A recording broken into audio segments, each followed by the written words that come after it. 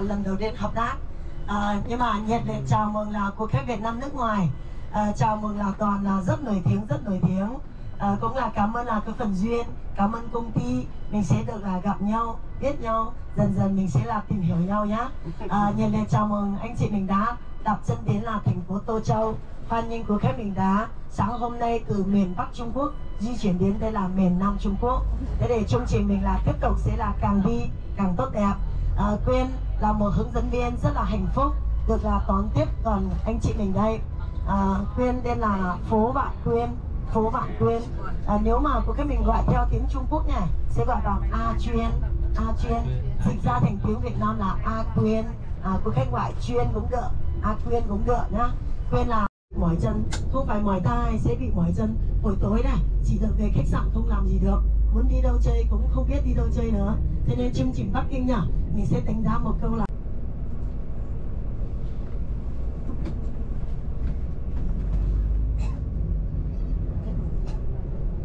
dạ. Yeah. Ok chị.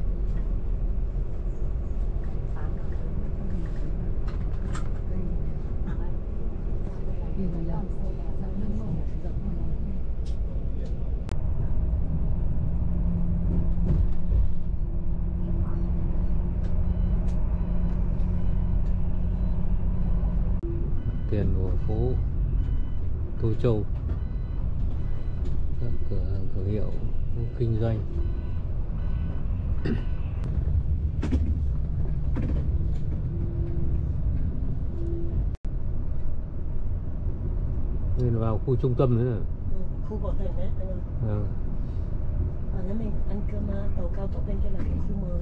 À.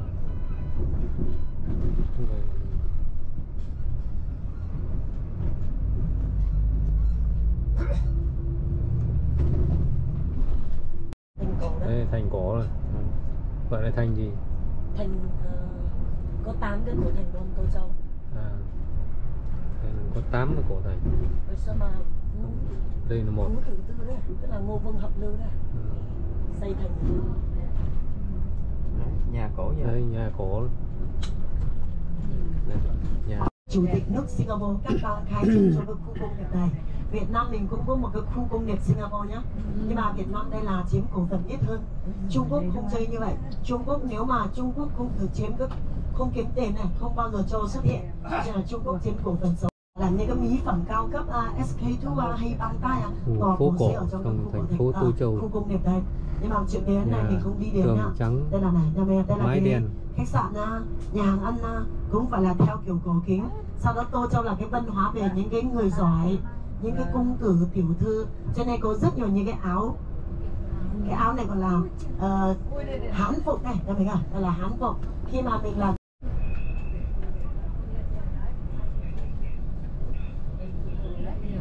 đấy là tiểu thư đi lại đấy nhà mình ơi Đấy. cho nên là mấy cái ờ, quạt à, quạt đũa quạt giấy này cũng là nổi tiếng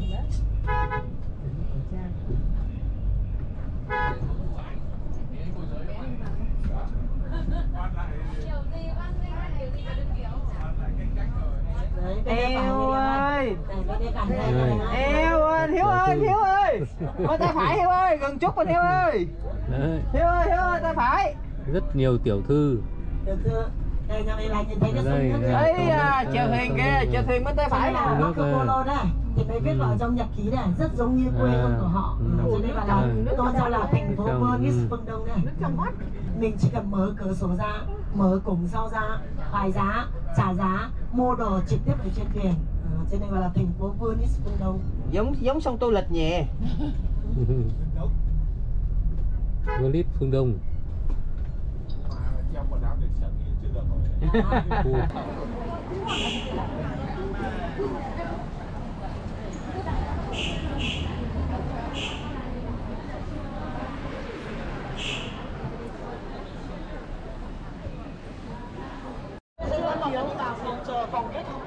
trong nhà sư tổ lâm 4 giờ 10 phút sẽ ở đây nhá Biết là hết rồi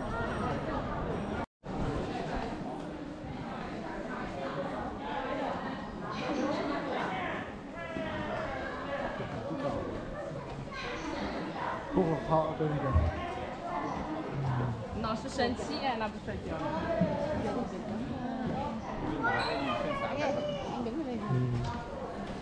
đây là 600 năm trùng tu lại rất nhiều bây giờ toàn bộ để dừng cho khách để, để tham quan này cho nên nhà nước thống nhất quản lý không phải là của ai rồi nhá Ờ, của nhà nước khi mà mình đi vào trong khi mà mình sẽ xem là cái nhà hồi sơ nhỉ và mà mình từ cái cửa chính đi vào đây. Có một cái sân rất là rộng ở bên ngoài. Hồi xưa cái khách mà đi lại đây, toàn bộ là có người có thân phần ở đây. Khách toàn bộ sẽ đi bằng cái khanh kiệu.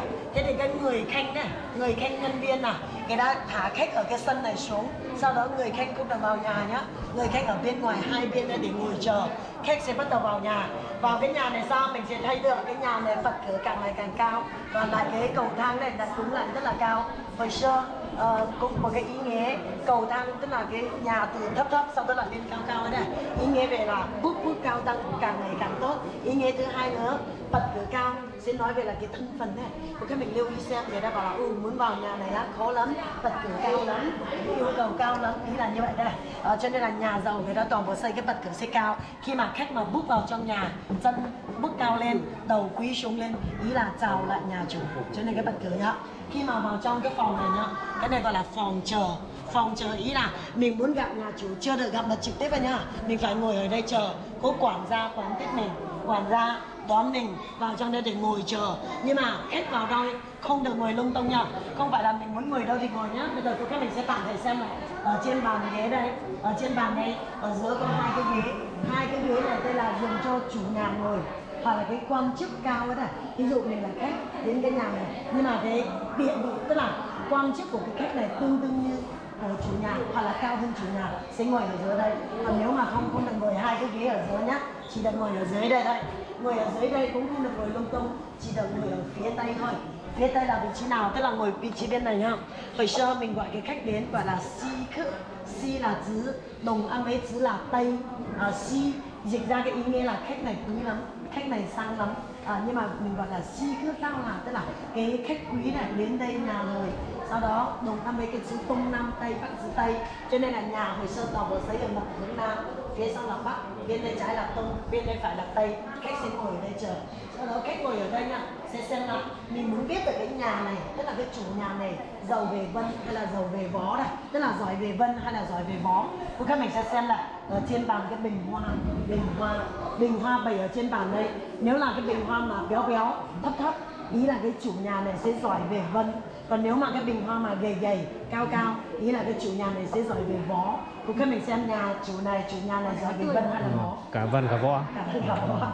Rồi về vân thôi nhá rồi về vân. À, bày ra cái bình phong với là cái bình hoa ở trên bàn đây. Ý nghĩa là bình bình bình an này bình an sau đó, ngồi ở đây nha, chờ đợi chủ nhà. Nhà, chờ nhà chủ đây quán ra sẽ pha chè cho mình uống. Nếu mà ly chè thứ nhất hoặc là ly chè thứ hai uống xong rồi nhá, chủ nhà sẽ ra đây gặp mình hoặc là sẽ thông báo cho quản gia dẫn mình đi gặp nhà chủ. Còn nếu mà ly chè thứ ba đã xuất hiện ở đây, tức là mình ngồi ở đây uống chè chờ. Nhưng mà tí nữa ly chè thứ hai được mang lên, tí nữa ly chè thứ ba lại xuất hiện khi nào xuất hiện vi trẻ thứ ba ý nghĩa là chuyến này mình sẽ không được gặp nhà chủ mình sẽ từ túc về nhà. Ý là đuổi khách này. À, như là như vậy nha. À, mình trẻ nhá. Nhưng mà đây chỉ là một cái phòng chờ thôi. Phòng chờ. Và là tiếp tục đi vào mới là phòng khách nha. Nhà mình lại đi vào trong là cái phòng tiếp khách này này.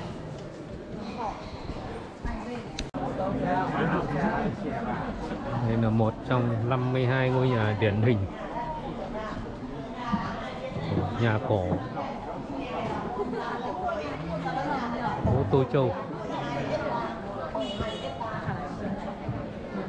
12 nhé. 12 hecta.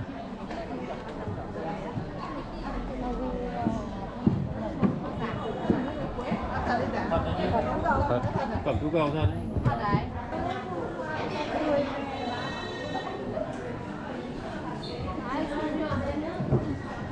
Cơ tổ đi bia Sinh nào đi con nào nữa à, à.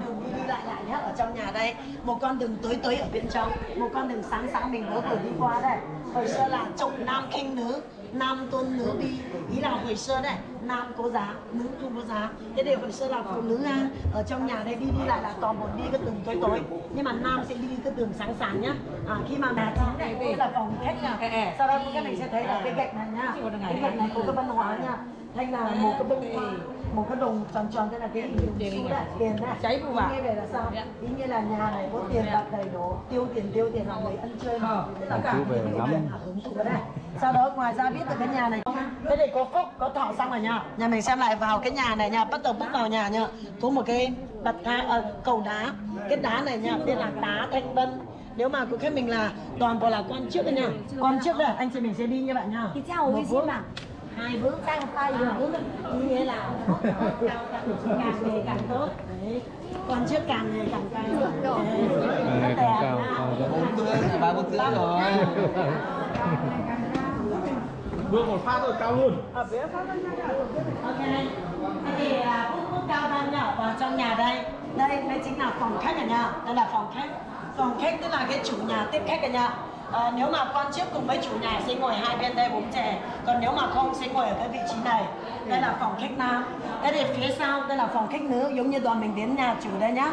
Sau đó mấy anh sẽ ngồi ở đây mấy chị sẽ ngồi ở phía sau. Hồi xưa đây là phòng khách nam phòng khách nữ. Đây thì cô khách mình cũng thấy lại cái thứ nhất cái ghế ngồi của nam đây rất là sang trọng. Khi mà ngồi xuống hai tay thả hai bên ý nghĩa tượng trưng về là đàn ông hồi xưa đây rất là cố quyền quyền lực đây cố quyền có lực hai nữa cô các mình sẽ thấy là cái ghế ngồi nữ. Ghế ngồi nữ đây là không có hai cái ghế tay. Bởi vì hồi xưa phụ nữ. Đứng phải có cái dáng đứng ngồi phải có cái dáng ngồi. Hồi xưa những người, ngồi đây tay trái tấp qua tay phải chân trái khoác qua chân phải. Ngồi không được ngồi hết cả một cái bàn ghế nhá. Chỉ cần phụ ngồi nữ. một thôi. nhưng mà ở đây cái lưu ý mấy chị rồi. Ở trên xe ghế này. kiểu toàn không đặt tiêu chuẩn nữa. Không đặt tiêu chuẩn.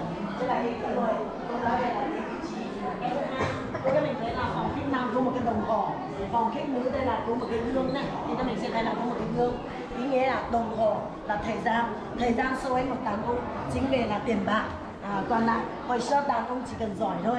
Nhưng mà phụ nữ hồi xưa không cần giỏi cho nên mày có một câu là nữ tử vô tài mới là đức đấy à, thế thì phụ nữ hồi xưa chỉ cần xinh xinh đẹp đẹp à hôm nay chồng về rồi sau đó để trang điểm rất xinh rất đẹp để đón chồng về đây? Hồi xưa chỉ cần làm cái việc này thôi. Cái thứ ba nữa cái gạch nhá gạch nam đấy là gạch nữ. Gạch nữ tức là hình vuông vuông. Hồi xưa phụ nữ sống phải sống đàng hoàng. Nhưng mà đàn ông hồi xưa là phải có là tam thê tứ thiếp đây tam thê tứ thiếp. Nhưng mà vợ vợ hai vợ ba cũng được. Phụ nữ là nếu mà lấy chồng ở đây không được đoàn đi đi với người yêu khác ở đây sẽ bị bắt vào trong lòng heo ở đây à, sẽ là thả xuống là do Tô Châu cung cấp ở đây cái gạch này là 3 năm hơn 3 tháng mới làm được một cái cục như vậy à, tức là làm cái thời gian dài à? Thế để tổ cứng rất là cao. Dùng ở trong phòng của vua là bảo vệ cái sự an toàn của vua đây nhưng mà một nữa là Tô Châu cung cấp. Hai nữa cái này gọi là đá vàng nhá. À, hai nữa à, đây là có cái dấu vân này. Ý dụ anh là con chức chuyên môn là quản lý và phụ trách về cái cục đá đây sau đó có cái tên của anh đây ký tên rõ ràng. Nếu mà có vấn đề gì thế thì sẽ tìm tức là cái người quản lý người làm đây sẽ là bị chịu trách nhiệm mà nhá. À, cho nên là một nữa có cái dấu vân. Hai nữa cũng nói về là những cái đồ, đồ đạc hoặc là lụa toàn bộ hồi xưa là cung tô châu cung cấp ở trên triều đình ở đây. Cái này nó có thay đổi với nhau. Cái này gọi là quang cảnh còn nếu mà có người đang đứng ở bên ngoài này các mình từ đây nhìn ra có phải người đang xuất hiện ở trong cái bức tranh này không? À? ý là nó cái coi là là mình trong cái bức tranh này nó là cố định ở đây nhưng mà ở đây nhá mình nhìn ra cũng giống như một bức tranh này. À, bức tranh này xuân hạ thu đông cũng có thay đổi với nhau. Người mà đứng ở bên ngoài đây sau đó coi như là người đang xuất hiện ở trong cái bức tranh này. Cái này gọi là phong cảnh nhá.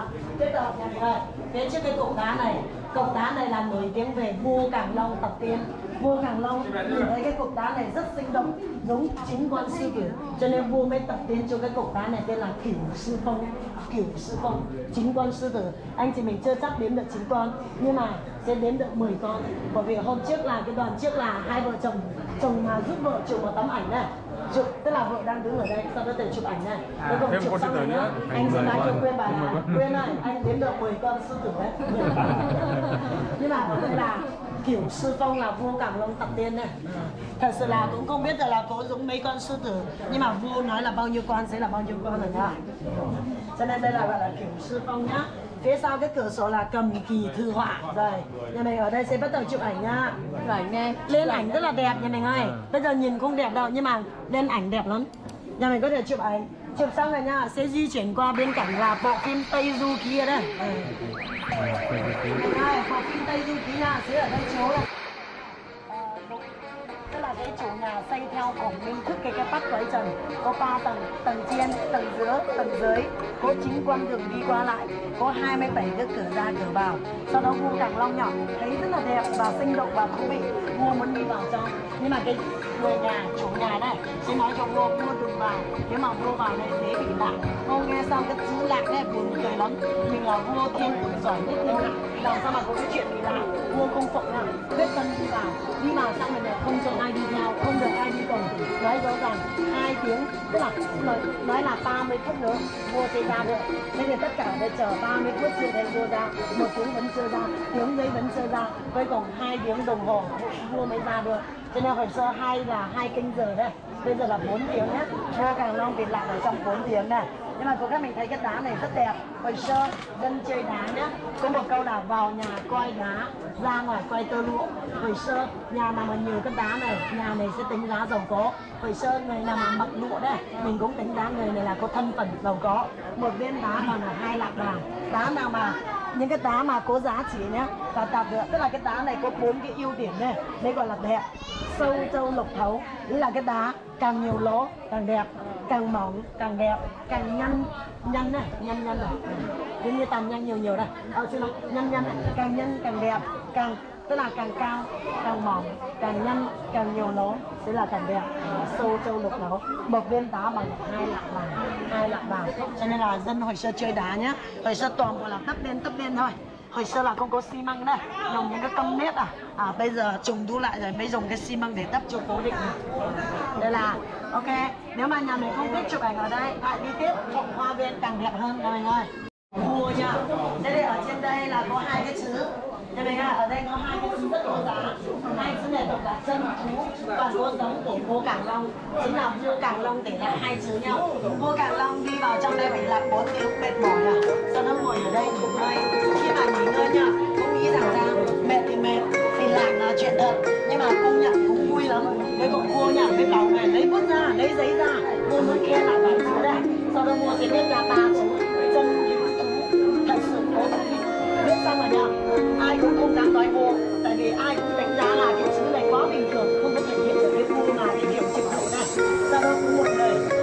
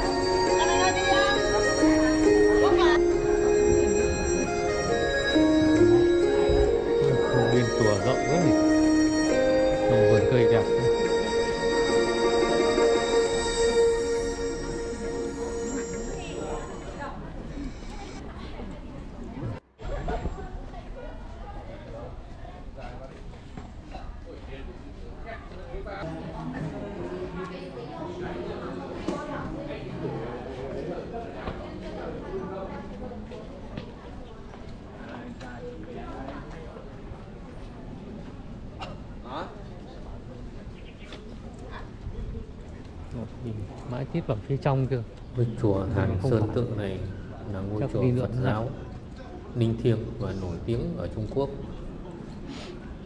Đây là điểm đến không thể bỏ qua khi đến du lịch Tô Châu. Ngôi chùa có diện tích Ngôi chùa hơn 10.000 Hàn Sơn. vuông nằm ở phía tây thị trấn Phong tiếng Kiều, của Châu Châu thành phố Tô Châu. Hàm Sơn Tự được xây dựng vào khoảng thế kỷ thứ 6 sau công nguyên dưới thời vua Lương Vũ Đế và có tên là Diệu Nội Phổ Minh Tháp Tiên. Trong cuộc nổi loạn Thái Bình Thiên Quốc, chùa bị phá hủy và được xây dựng lại từ năm 1905 và được giữ gìn cho đến ngày nay. Tên chùa Hàn Sơn bắt nguồn từ hai vị thiền sư với nhiều giai thoại trong lịch sử. đi hết tất cả chùa Trung Quốc chỉ có mấy một cái chùa này là có Hàn Thập Điện cúng cùng Hàn Sơn và Thập Đức. Hai vợ chồng hai vợ chồng tí nó nhất định phải đi cầu gia đình hòa hòa khí khí bình bình an an. Về nhà hai vợ chồng không bao giờ cãi nhau nha. Còn là nữa cái máy nhà đây còn có còn có là uh, xuất hiện là tôn ngủ không tí nữa quên lên trên xe sẽ kể lại cái chuyện mà tây du ký nhá còn lại nữa nhà mình ngay dần dần. Bây giờ nhà mình tự đi lễ phật. Lễ bằng tiếng gì cũng được. Phật tổ cũng hiểu hết rồi đấy à? hiểu hết. Đó chính là Hàn Sơn và Thập Đắc. Hàn Sơn, một nhà sư sống ở núi Thiên Thai là nơi ở của Tế Điên Hòa Thượng. Trên núi có chùa Quốc Thanh. Hàn Sơn thường xuyên đến thăm thánh địa này. Và đây cũng là nơi người bạn thân nhất là Thập Đắc sinh sống. Trước đây, khi Hàn Sơn đến tuổi lập gia đình, thì bố mẹ tìm vợ cho ông. Lúc này Hàn Sơn mới biết đó chính là người yêu của Thập Đắc. Vì lo lắng cho cuộc hôn nhân này sẽ không hạnh phúc, ông đã bỏ nhà đi tu. Về phần thập đắc, khi biết tin, ông nghĩ Hàn Sơn ra đi vì mình, nên cũng quyết định đi tìm. Cuối cùng, họ gặp nhau tại ngôi chùa Hàn Sơn đang ở bảy tầng và hai người trở thành huynh đệ, cùng nhau sống trong ngôi chùa. Vì vậy, về sau này, ngôi chùa đã được đặt tên là Hàn Sơn để tưởng nhớ câu chuyện của cặp đôi chi kỷ này. Hàn Sơn Tự gắn liền với bao thăng trầm của lịch sử Trung Quốc. Ẩn chứa bên trong là câu chuyện Hàn Sơn Thập Đắc đã tạo nên nguồn lịch sử thi ca độc đáo cho ngôi chùa và trở thành một trong những ngôi chùa kiến trúc độc đáo và linh thiêng nhất Trung Quốc. Và cũng chính nơi đây đã từng được làm bối cảnh trong phim Tây Du Ký.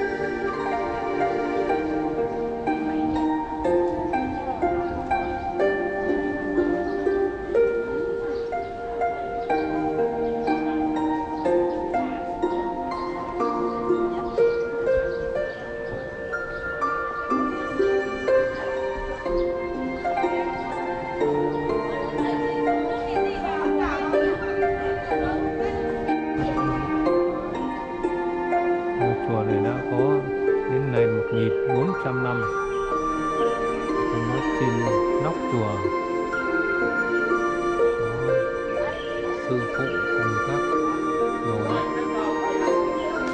như Như kinh.